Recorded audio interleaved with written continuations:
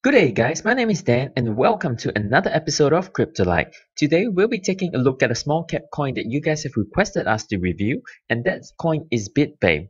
BitBay is currently ranked 178 on the market cap and it's a very ambitious project who is basically taking on eBay, the world's biggest online marketplace. So if it comes close anywhere to achieving their goal, their market cap is going to explode, making this definitely a coin worth being aware of. To learn more about BitBay, keep watching this video.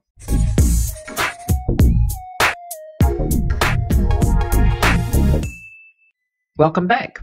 First of all, let me clarify that the project we are reviewing today is BitBay Market, not BitBay Exchange. Both of these are cryptocurrencies projects, but one is an exchange and the other is an online marketplace.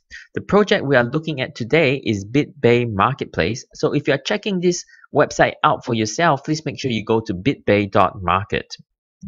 Now, traditionally in an online marketplace, there is the seller, the user, and a middleman like eBay. The problem with middleman marketplaces like eBay currently are, firstly, they charge very high fees as much as a 13% commission. Secondly, there is a risk of fraud and buying faulty products. The third is a lack of privacy where the merchant and the middleman both have access to your complete details like your full name, your address, and your credit card details. The Fourth is the lack of customizations where any trading you do is basically very simple buy and sell trade on the spot and there is very little options to customize or change those trades.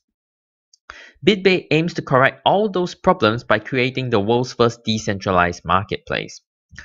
The website itself doesn't have a white paper. What they have instead is a page that displays their core features. So we won't be exploring much tech today, which means a shorter review, but nonetheless, there are many interesting features of this project that we need to introduce to you. The first feature that I want to introduce to you is their double deposit escrow. Now, typically, if you were hiring a freelancer to do some work, you would pay the fees upfront into what is known as an escrow account. So this is a fund that is frozen until the end of the transactions. And when the fund is frozen in the escrow, neither you or the freelancers gets the money until the work is completed and the work is verified by you. Then the funds in the escrow are released to the freelancers. Now, this works well for freelancing work where the product is a service and typically there is a lot of communication between the freelancer and the user. However, with physical products that you purchase on eBay, it becomes harder because not only is there less communication, but you need to not only protect the user or the buyer, you also need to protect the merchant who is often subject to a lot of false complaints from people who claim that they never received the goods or received faulty goods and they want a refund. To combat this problem, BitBay employs what is known as a double deposit escrow. In this double deposit escrow, both parties, both the buyer as well as the merchant, has to deposit an escrow fee into the escrow um, fund. The fee that they deposit can be anywhere from a small amount until as large as the actual price of the purchase. If something goes wrong, potentially the entire escrow will be confiscated and lost. So basically, both parties have to verify that they are satisfied with the transaction before the escrow amount is released back to them. Now, other marketplaces will employ other means such as KYC and reputation system to incentivize good trades. BitPay, BitBay will also be employing those features as well. The actual escrow amount that you see on the screen is just a deposit for the trade. It is not the actual transaction um, cost. The actual trade amount is a separate um, amount altogether. So in this case, the escrow amount is always done in Bay tokens, but the actual trade where you actually buy something from the merchant, that can be done with any currency. Now, I see this um, double escrow as a potentially double-edged sword. And the reason I say that is because Firstly, even though the double escrow makes the transaction more secure, but it means that the seller or the merchant has to offer a deposit upfront. So essentially, if you are a merchant who's selling 1,000 products in that day, you would have to put down 1,000 escrow deposits. This is huge and not many merchants may be able to afford that and it certainly might turn some of them away to other sites like eBay that require no deposit. Also, the fact that my escrow may be confiscated, whether I'm a user or a merchant, that doesn't make me feel very good because the other party may also be trying to do the right thing. But what if a third party, like the delivery man or someone else in the process, did something wrong where the transaction did not complete? And so the fault wasn't with either party, it wasn't with the buyer, it wasn't with the seller. But nonetheless, they can't come to an agreement about the outcome. As a result, both of them would lose their escrow. So the fact that I could lose my escrow even though I didn't do anything wrong doesn't really sit well with me. The second feature that I want to introduce with you is the unbreakable contracts. And this is done through the use of smart contracts. Now, this isn't a particularly brand new technology. For most of us who have been in the blockchain scene for a while, we understand that smart contracts are the core building blocks of any blockchain projects. But it is a feature that when you apply it to trades in the online marketplace, it becomes a new feature. Smart contracts means that the agreements between two parties can happen without further intervention or a need for a middleman. The agreement is also secure, enforceable, and untemperable. This is bringing the advantages of the blockchain to the marketplace. Furthermore, BitBay has also allowed users to create custom contracts, changing how they define the agreement and allowing for a wide range of customization. Now, following up from the point of unbreakable contracts is the next feature of being a decentralized market. Because there is no middleman, there is no need for high fees. So with BitBay, the use of the software is completely free. Instead of high transaction fees ranging between 5 to 13% in current online merchants or middlemen, the transaction fees for trade will be very low, costing less than 1 cent. So it's basically almost free. I think that having very low fees can be very attractive to users, but you have to balance this with the coin value worth. Because basically transactions are the way that this project earns money because while Bay tokens are used in the escrow, the idea is that you get the escrow amount back so it's not actually being used. Now, if each transaction is super cheap, then as a user, all I need to do is buy one coin and I can do multiple transactions or many, many transactions with that one coin. So there is no need for me as a user to buy more coins, which means there is no demand for coins on the market. And no demand means that the currency price is going to find itself hard to rise. So it's a trade-off here being between being attractive to the users with very low transaction costs versus having difficult traction for token price. You could potentially end up with a situation where the project is taking off but the token price doesn't reflect that. The next feature which is still in the works is the dynamic peg. So one of the major setbacks to using cryptocurrency in the marketplace is the volatility of cryptocurrency. So to counter this and provide stability, they are proposing what is called a rolling peg, where a user will get two balances of liquid and reserves. So when the market starts to crash, for example, BitBay will forcibly deflate the coin supply by freezing users' accounts and setting some of their coins aside as a reserve. They try to make this fair for all users by deciding the amount that is froze that is going to be freezed based on the user or when the user receive and send their coins. But vice versa, if the price was to rise suddenly and dramatically, example from $1 to $2, so some of your coins will get frozen. So for example, if you had 100 tokens, each worth $1, so that's a total spend value of $100. Freezing half of that would mean that you still have 100 spend value, but 50% of your tokens were frozen to be released later. BitBay doesn't actually control the process of freezing the tokens. The decision on the target price to be frozen is chosen by the community, and the community can also choose to make the whole process automated. Again, I do understand and appreciate the principle behind making a stable trading environment. But I also see this as a potential double-edged sword. What if the market crashed and I saw it coming at the start and I wanted to sell my coins but now I can't because they are locked in and I can't sell them. Also, the model works on the assumption that the user is less competent at the community and making decisions which some users may disagree. And the market also, um, this whole uh, system works on the assumption that the market will recover. What if the market didn't recover or just for this project, the project itself didn't recover. And even though that's unlikely, it's worth considering when you are going to invest in the project. If the market didn't recover and the coin price kept falling, theoretically, your frozen coins will never be released. And in fact, as the price keeps falling, there is a potential that more of more of your coins may actually get frozen to forcibly deflate the supply more and more. I personally don't like that the project gets to freeze my assets whenever they feel it suits the best purposes of the project, not necessarily my own individual best purposes. I am forced to put the well-being of the project above myself, and some investors may not like that. The next interesting feature they have is what is called exotic spending. Uh, this is multiple custom features that are built into their AI, which includes a dead man switch where coins can be preset to be returned to the rightful owners after a predetermined time lock. So it's useful for multi-signature businesses or employment contracts, etc. Uh, another feature they have is what is known as notary and burn, which utilizes accountability of the blockchain to verify document ownership. Another feature they have is the freezing coin features that we just discussed. Another feature of the project is their decentralized voting and we're going to cover both these and together with their staking mechanism. Now, BitBay system runs similar to a proof of stake. So you can stake your coins and they promise you that they will give back at least 1% every year and they are hoping really to give more, maybe 3 to 5% in reality. They also promise that stakers will get 20 coins as a reward for each block of information that they confirm. 1% in this case is not a lot. In fact, your bank account probably gives you a higher interest. So what you'll be really staking your money on here is that the inflation of the coin, meaning that the coin price will rise. In terms of voting, the main purpose to regulate the dynamic peg technology discussed earlier is to vote.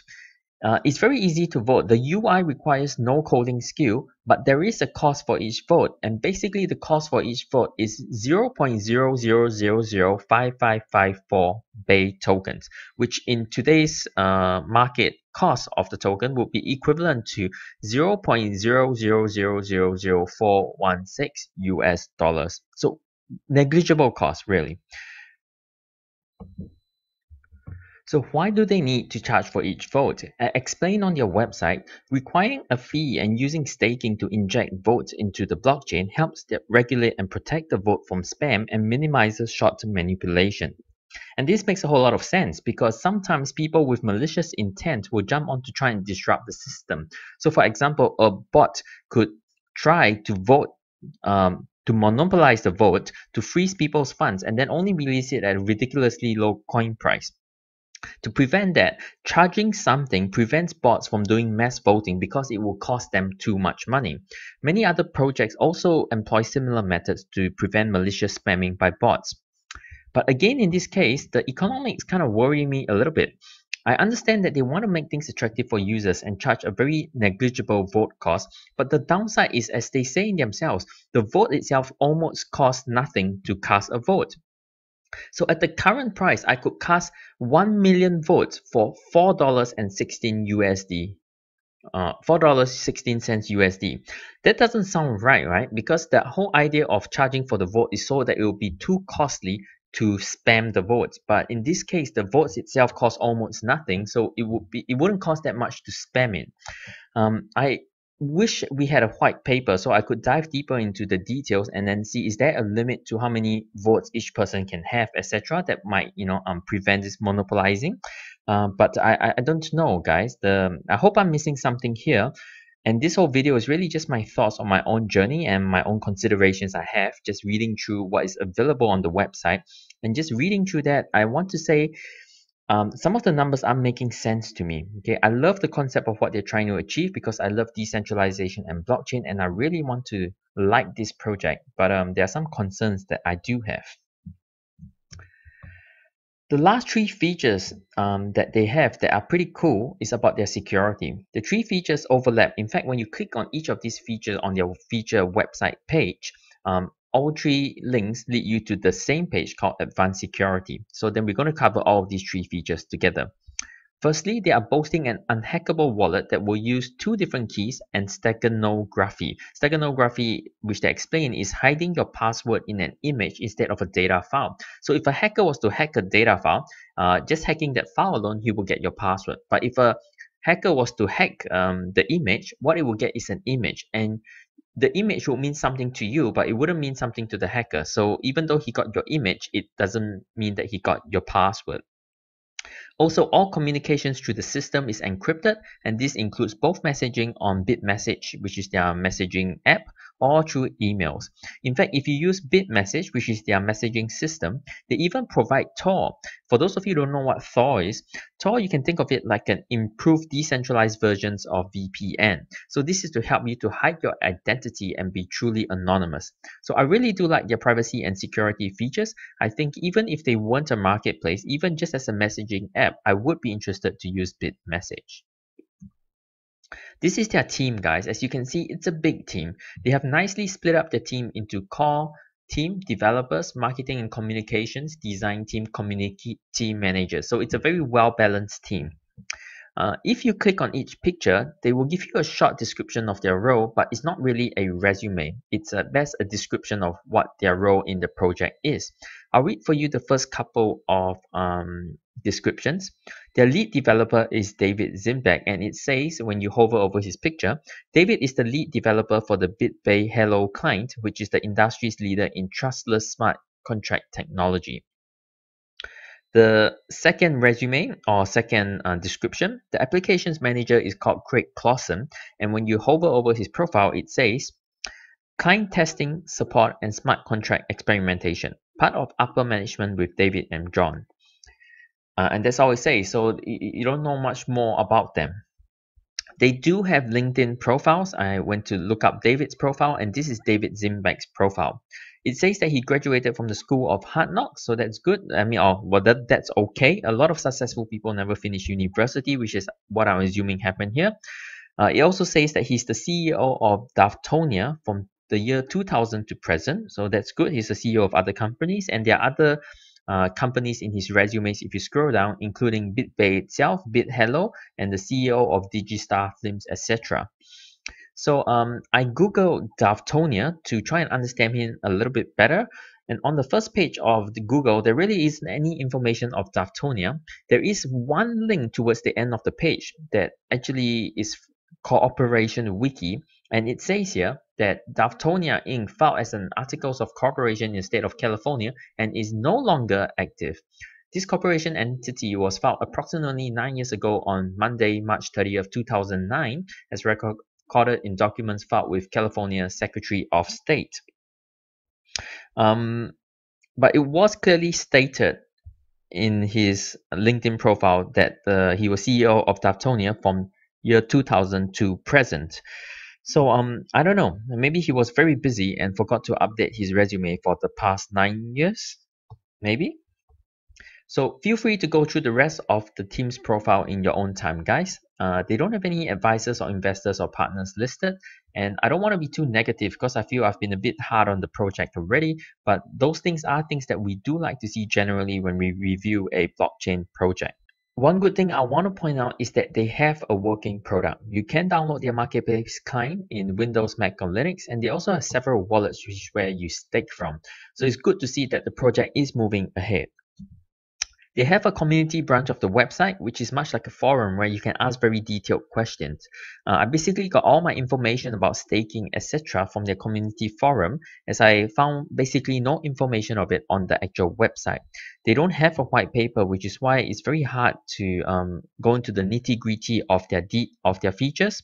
And uh, oftentimes I found that the, the community forum was a much more useful place to get uh, detailed information. This is their roadmap. It's a rather brief roadmap that uh, shows the first quarter of this year. I'm sure they did things earlier than that, but it really the on the website it starts from the first quarter of this year and it runs to September of this year. So only the third quarter of this year, and then after that it says and much more to come. There's also a disclaimer on their website that says our roadmap is an indication of what we expect to release. It is not a promise to our investors as we expand. Our team priorities may change. Upcoming things that we can expect this month and next month are Client version 1.32, which includes native Mac version, multilingual website launch, higher template release, and PokerSite. Hmm, PokerSite, that's interesting because I thought this was a marketplace project. Uh, I found this article from a few months ago that mentioned Bay's multi-sig poker, a revolutionary multi-signature secure poker. It's a Texas Hold'em game that uses the Bay token, but the Article also said that uh, Texas Hold'em Poker website is completely independent of BitBay. One of our web wallet developers simply wanted to expand upon the web wallet's potential. The website's owner will only utilize BitBay as the base currency for users. So I'm not sure whether this is the same project that they are working on when they talk about poker being released in May, or is it a different project on since the um, the project that's listed on their roadmap is listed under their ownership on their official website. So we will have to see, I guess.